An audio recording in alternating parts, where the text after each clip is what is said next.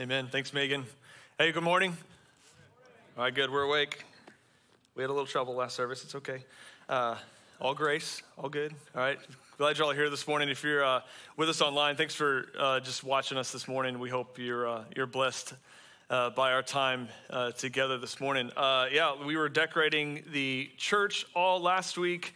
Uh, I spent the week uh, decorating my house. Anybody do that? Do you decorate? You do your own decorations. I'm not asking if your house is decorated. You do your own decorations. Okay, yeah. I was putting my lights on the house. Okay, we get a we get a separate award because we did it ourselves. Okay, so just if we get in any sort of competition, we're in a separate category. Okay, the people that you know that pay to have that done. Okay, we love you too. Your house looks great, but we worked really really hard. Okay.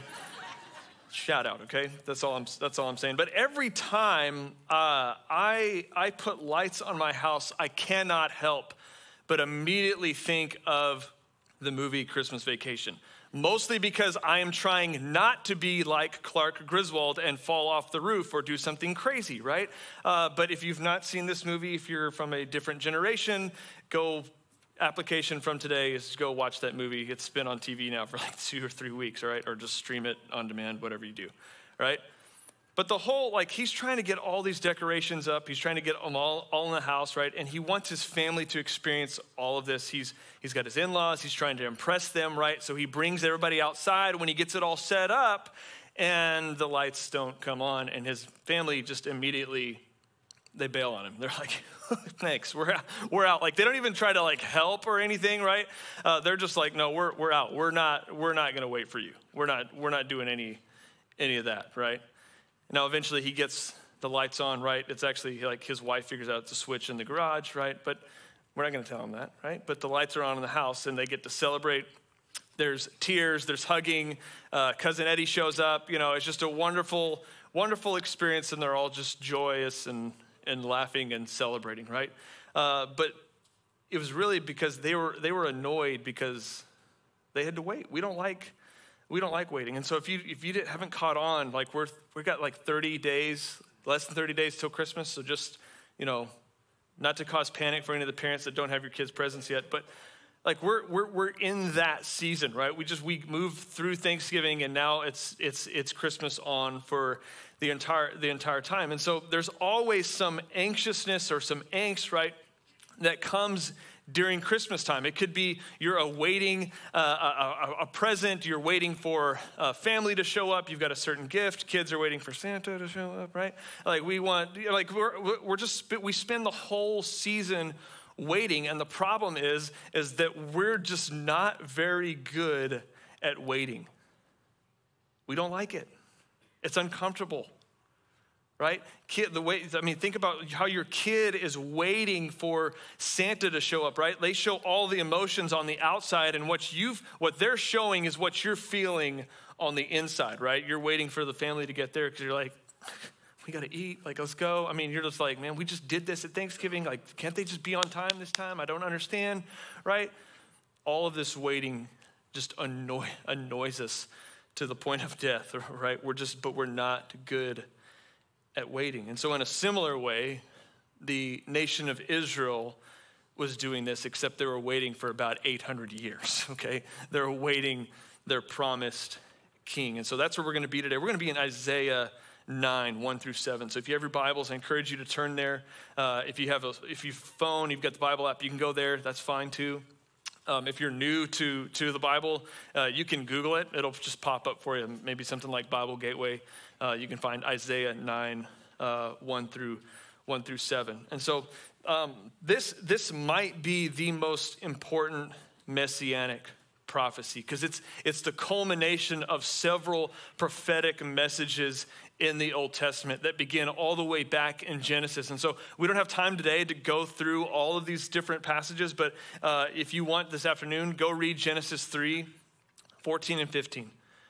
Go read 2 Samuel, uh, 2 Samuel 2, 7. Go read Psalm 2, 1 and 2, and you'll kind of see and you'll start piecing these all together where you eventually land in Isaiah 9. And so that's where we find ourselves. And what we see is that Jesus was the plan all along.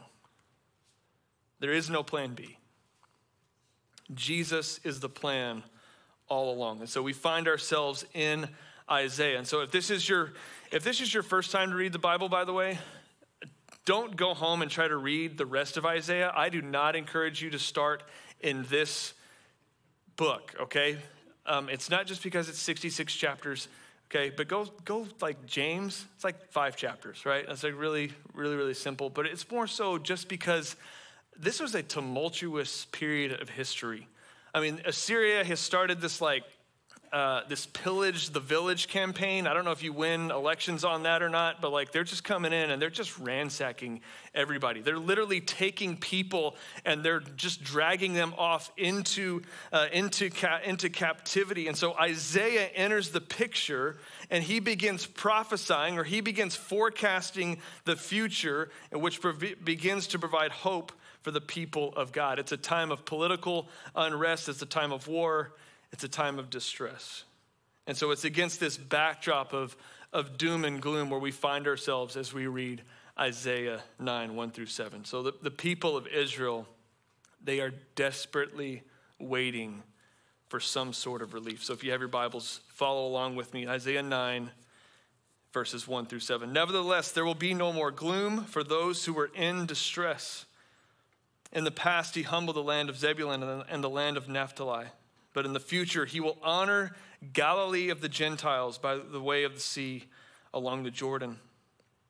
The people walking in darkness have seen a great light. On those living in the land of the shadow of death, a light has dawned. You have enlarged the nation and increased their joy. They rejoice before you as people rejoice at the harvest, as men rejoice when dividing the plunder. For as in the day of Midian's defeat, you have shattered the yoke that burdens them, the bar across their shoulders, the rod of their oppressor.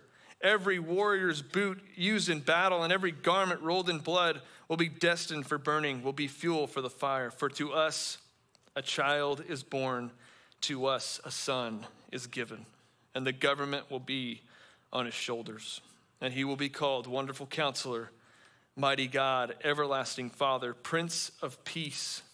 Of the increase of his government and peace there will be no end. He will reign on David's throne and over his kingdom establishing and upholding it with justice and righteousness from that time on and forever. The zeal of the Lord Almighty will accomplish this.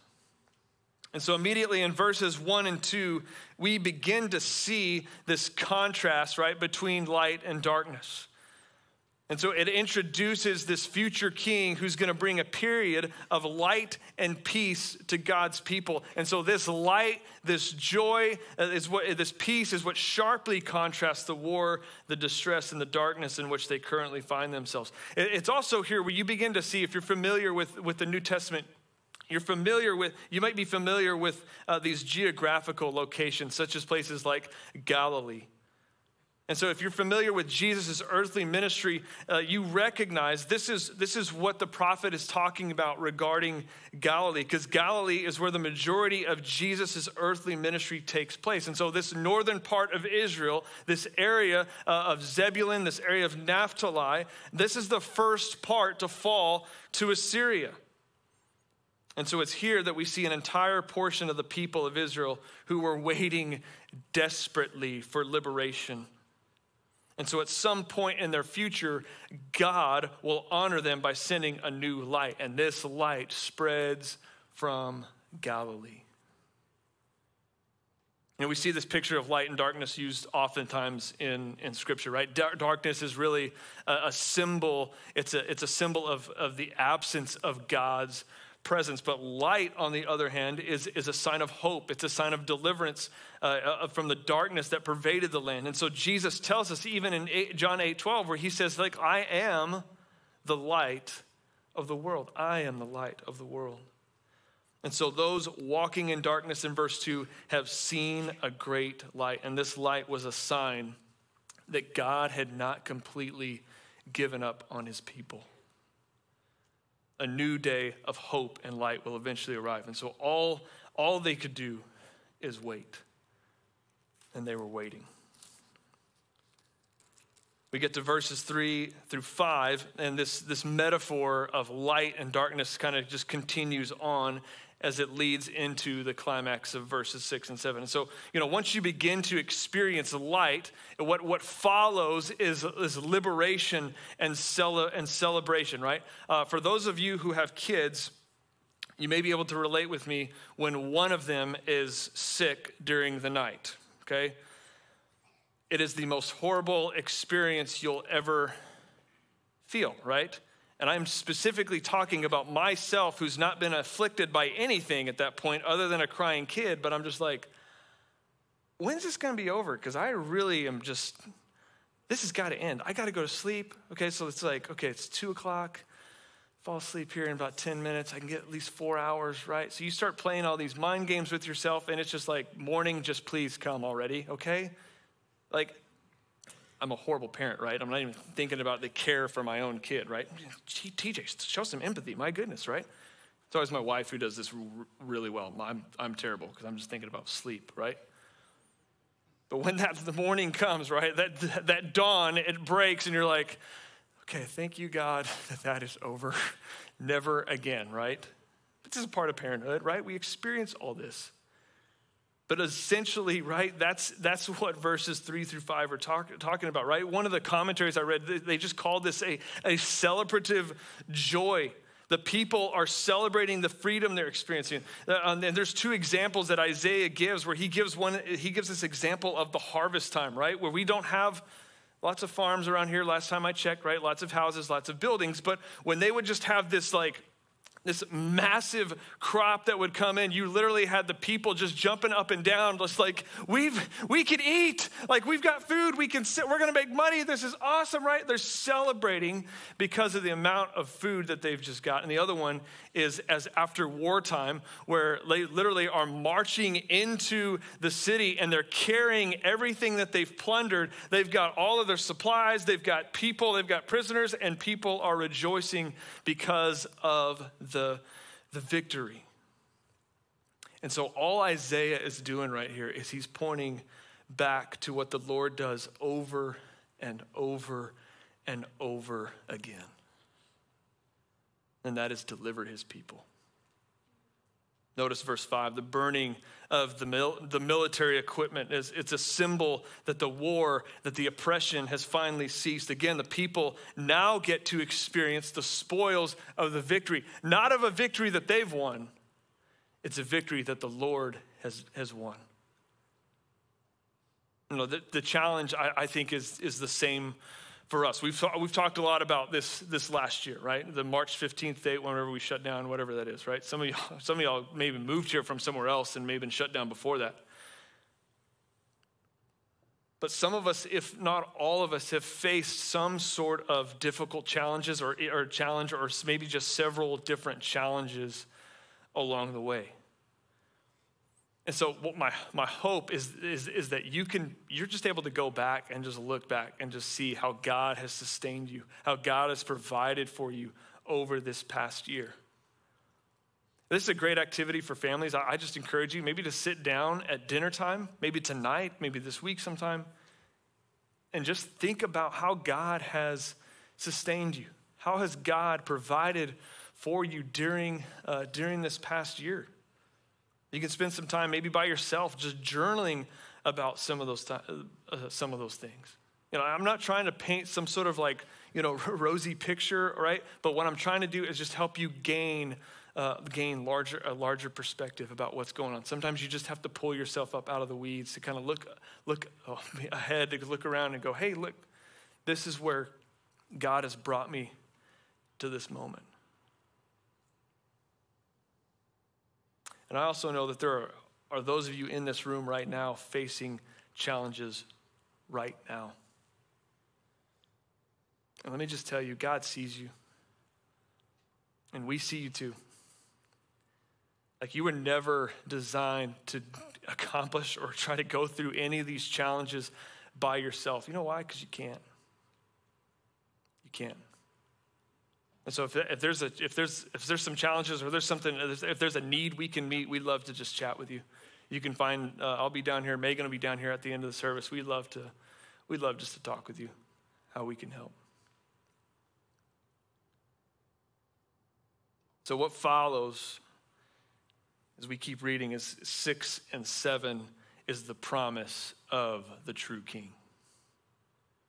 You can feel this building. It's not really just because like you may be familiar with this with this passage, but it's more so because God is going to deliver on his promise. And so Isaiah continues to reveal more of God's plan. And so it was never going to be met through some normal human ruler. It was never going to be met through an earthly king. It was never going to be met through uh, through effort alone, right? It was always going to be through an ordained king. And so, what follows the end of war is the king and his rule. And so, this is not a mere coincidence, right? It's a gracious act of God. And so verse 6 explains the, the deliverance of the people because he's now going to accept like this, this burden of rule. He's going to carry it on his shoulders. And so what follows are eight words, but really they could be eight names by themselves. Basically, this king is the most qualified individual to rule. There was no other king. There was no other king capable of carrying out this plan. And so, what these titles represent are his character, but they also represent his roles. And so, you get into wonderful counselor, right? You contrast that with the immediate context in which King Ahaz, the king at this time, he's made decisions that ruined his people. We have a counselor who provides divine guidance that's available, available to us through his word.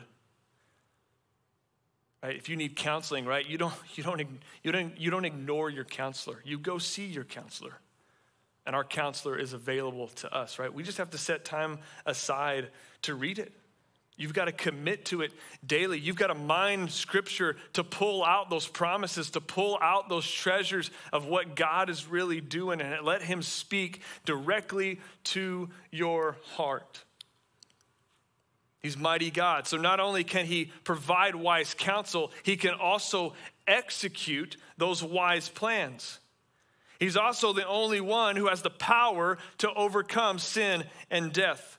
And he defeated that when he went to the cross for you and me. And so when you trust in him, what you're doing, you're basically just declaring that you're not mighty, that there's one mighty God, there's one mighty king who is able to overcome sin and death, and you're not able to do that on your own. Everlasting Father, you know, fathers are probably a really rare way to uh, describe a, a king, but it's really just how the king is going to relate to his subjects. He's going to love them perfectly. He's going to offer grace. He's going to discipline when, when appropriate. He's going to lead as, as necessary. And so, this everlasting Father desires a relationship with you. And so, again, He's now inviting you into His family to be with Him forever and then Prince of Peace. He's pointing, Isaiah is pointing to a time far beyond when their, when their Messiah actually arrives. He's pointing to a time of eternal peace in which there will be no end. And so when this, this, this is tied to the title of prince, what you find is an administrator who, who now administers the benefits of peace during his general reign. Again, because of our sin, we are at war with God, and Jesus brings peace between man and God. And it's a forecast of the peace that is to come in the kingdom of God. Again, this proves, all this does, this proves that Jesus was the perfect plan. There was no plan B. Now you look back at all the judges, all the kings, Everybody that had gone before him were never going to be elevated to the status of this coming king. That's why God, I mean, God even warned the people in, in, Samuel when they started, you know, just calling out, hey, we want a king, we want a king, we want a king, we want an earthly king, right? And God warns them. He says, no. You don't want an earthly king. It's not going to be good. And God grants him a king anyway. He gives him Saul. And from that point forward, you see the disaster. Yes, there were some kings who, you know, did what was right in, in the eyes of the Lord, but they were never going to match this true, ordained, godly king. He was the plan all along, and they were waiting for the one true king. And so are we. We wait. This is where this is where we find ourselves now. Is that we're waiting for this one true King uh, to, to show up, to, to, to return. Right? We're waiting. The question is, so how do, how do we wait? How do we wait? How do we wait being on the other side, knowing that this King has already arrived? And so there's three things I want us to I want us to look at today. The first one is, is wait patiently, just looking at how we can wait, especially during this, this season. So, that first one is wait patiently. We've talked about this. Israel was not very patient. I mean, it didn't take them that long to, to, to get, just to create a golden calf after, after they've been delivered from Egypt, right? I mean, they're just like, we're going to make an idol right now. They were done. They didn't wait. I mean, part of the whole reason why they're conquered is because their refusal to wait on the Lord. You know, they tried to establish their own kings, they started establishing their own idols other than that golden calf. They were to await his counsel, his guidance, his instruction, him. And so we, where we find ourselves, right, is we, we kind of live in this tension between uh, Christ's arrival, where he, he's already come, but he's not, he's not coming yet. And so we, we, we call this the, the kind of the already not yet. And so what we do now is we just hold on to the promises of God. What I've, what I've recently really figured out for, for just my, maybe it's myself, but I want to share this with you, is that it really comes down to just how your posture is. How's your posture? You got to place yourself in a posture of gratitude. And you might be sitting there going like, "Hey, I just did that for a week. Okay, that's good. That's all. That's all you got, right? I got my little thankful journal. I've journaled in it. I'm good, right? No more." But you got to stay in that posture. It's a humble posture. And when you stay in that humble posture, you're submitting yourself daily to the Lord to say, you know what? Like, none of this has been on me. I didn't do any of this. God, you, you're the one. You're why I'm here. It's all about your posture. It's about gaining perspective and seeing God in everything you do. Students, uh, this, I, I, know uh, your life can seem out of control. You've got so many different challenges to navigate from relationships uh, to, to sports to grades to where you're going to go to school to parents, okay? Just being honest, okay? You've got all these different things that you have to try to try to navigate, right? And it, what happens is, is you you start searching for different outlets to say, you know what, uh, enough with this. I want to find something else. I want to find something. I want to find something different to just get me out of the hamster wheel. And it takes a humble posture to surrender daily that you you just wake up and you say, I'm going to live differently today. I'm going to live my life surrendered to the one true King. I think for the rest of us, I, I think it means really just slowing down during the Christmas season. And we talk about that every year. I mean, you could come in and be like, we're going to talk about slowing down. We kind of know, right? But really, how are you going to surrender daily how are you going to submit to say, you know what, I'm, I'm not going to speed up here? I'm going to live my life in submission to the holy king. And so, for the next four or five weeks, whatever, how, however many, how many uh, weeks we have left, right? Com- commit to just using this right here. This is available. And this is what's going to help guide you through uh, the Christmas season, right? You can pick them up outside, you can, uh, you can find it online, but this is what's going to help guide you through this season to help you slow down and live in a, in a posture where you're surrendering daily to the King. And look, may, maybe it loses its splendor after one week. Stay patient. Stay patient. And just allow God to massage your heart during this season so that when you get to December 31st, you can hit the ground running. You know how you, what you're going to read through. You know you're going to spend time in God's word in 2022 and that's going to set you up well to start the year off right. Because what will happen is, is that your patience will build instead of your anxiety. Wait patiently. We also wait purposefully. We've, we've recently shared one of our values is that we're running out of time, uh, running out of time. And so what sits on the clock tower outside, if you've never seen that, is, is John 9 4. And it says on that clock tower, it says, Night cometh. Our time is limited. And so we live with this urgency to help expand God's kingdom. Friends, you and I have a purpose to, where we can live our lives each day to help accomplish the mission of the Great Commission. And so, uh, so God has specifically given us all a purpose. And so that purpose is not to live with an eye on the short term where i'm supposed to just like help like build up my my reservoir right to, to help me figure out how i'm going to retire in 30 to 40 to 50 years whatever that may be or i'm trying to figure out hey how can i send my kid to college right that's all short term every decision you make should be for the eternal glory of god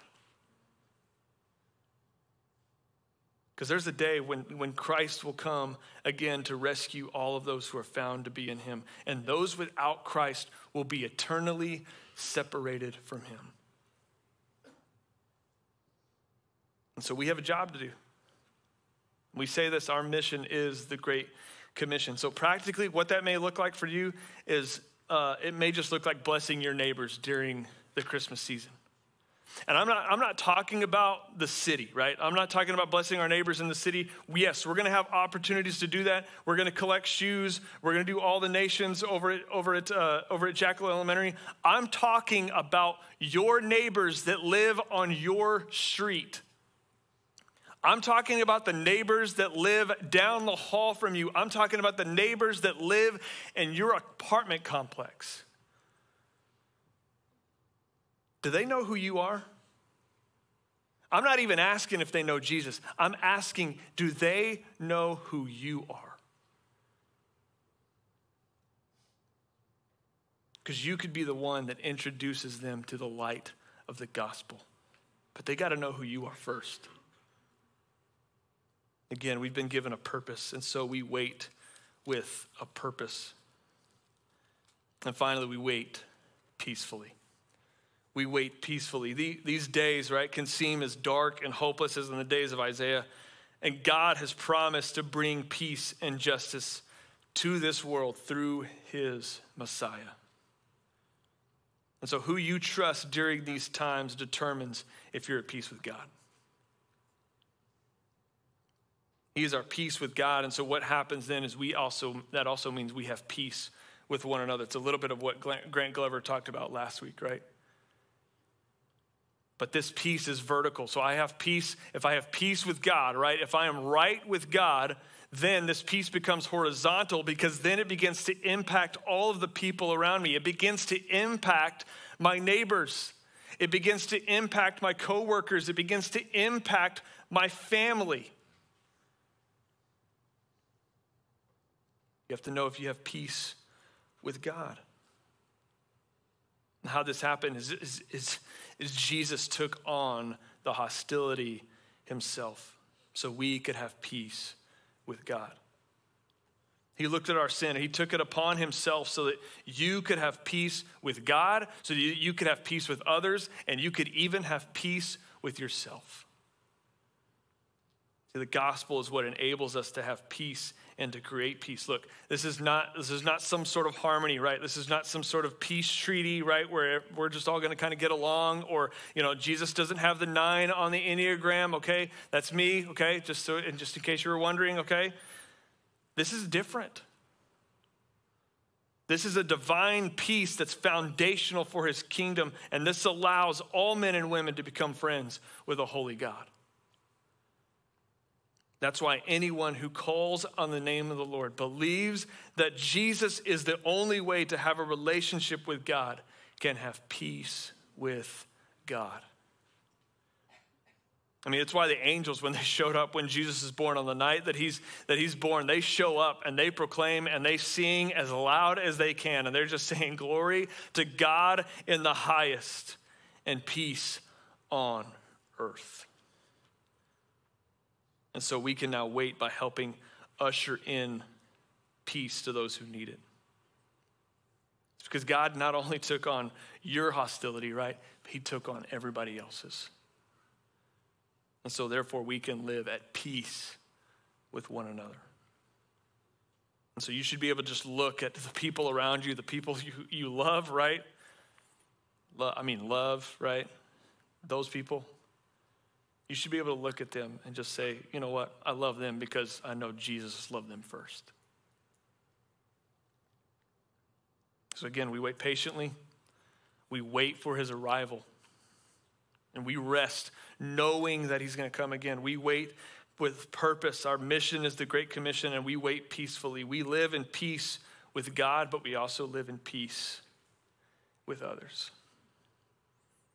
And so, where we find ourselves now, I, have called it God's waiting room. It's not Florida, um, it's, it's here and now, just in case um, you're wondering but we're waiting for him to accomplish his mission, right? And we can't be like the Griswolds who just kind of bail on it quickly, like, oh, we're, out, we're out, okay? We're not here to help. We're not going to do anything, right? He's called us to live purposely each and every day because we can tr- always trust in his promises. He's never not fulfilled one of them. And he's promised that he's going to return. And so we wait. We wait. Let's pray together. Holy God, we, we wait on you. We wait for your return, knowing that you are coming back. And for, Father, for those that don't know you in this room, for those of you, for those maybe watching online, my prayer is that they come to know you, that they come to know this everlasting Father who, who where God, you've invited us into your family. God, you've called us to you've called us to be kingdom minded. You, we are citizens uh, of heaven. We don't belong here. We belong in a different kingdom. And so, God, help us. Be patient with us. And help us to usher in your kingdom. So, as we go out, as we live our lives today, as we live our lives this week, God, help us to live with a purpose. Help us to live and surrender uh, and, and surrendering to you each day. I thank you for everybody that's in this room. I thank you for uh, just how you've brought us together to gather to sing about your return and to praise your holy name. So, God, be with us as we go today. And it's your name we pray. Amen.